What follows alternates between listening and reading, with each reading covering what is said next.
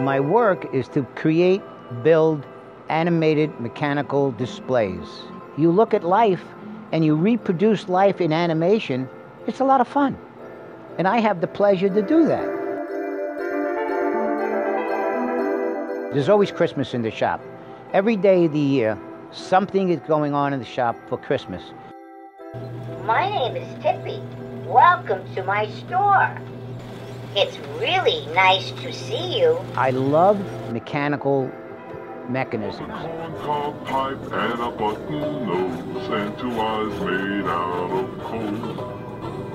Frosty the snow. I could not leave the house without coming back with a piece of junk, a television, wheels, gears, something to, I had to understand how things worked. I was always fascinated. And I wanted to build a robot as a hobby. So I did. And it was just a hobby, but it turned out to be the stepping stone in my life. And I was on the front page of the Times.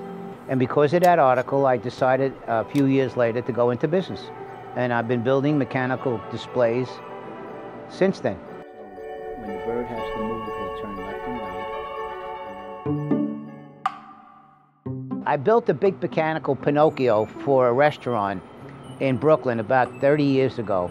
And when I put Pinocchio in the restaurant, everybody started calling me Papa Geppetto.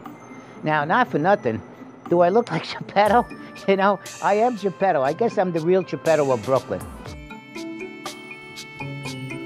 Dyker Heights uh, is an interesting story. Uh, a client of mine, a friend of mine, Frank uh, Leone, said to me, I want you to decorate my lawyer's house. It was Frank's gift to Mr. Polizzotto at the time, Alfred Polizzotto.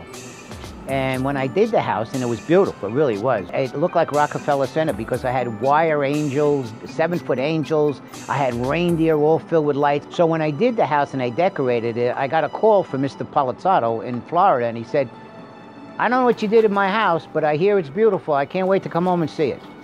Well, he was very happy, and I've been decorating the house working there every year. Go slow.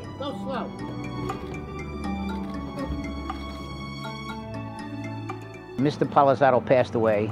So his wife didn't want to change the tradition. In his name and in his honor, we still do the Christmas display. And Santa gets a new coat every year and he gets a new beard.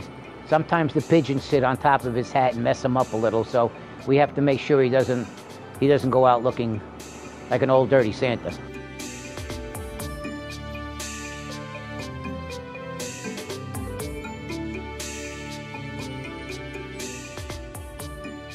what Christmas was 35, 40, 50 years ago is not what it is today. But if you really look at it, you can't see the difference. It's still Christmas.